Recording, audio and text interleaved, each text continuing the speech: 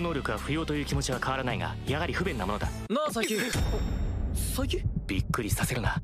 突然人から話しかけられることに慣れてないんだ。ねえ佐伯くん。佐伯くん？だから突然声をかけるのはやめろ。大丈夫？大丈夫じゃない。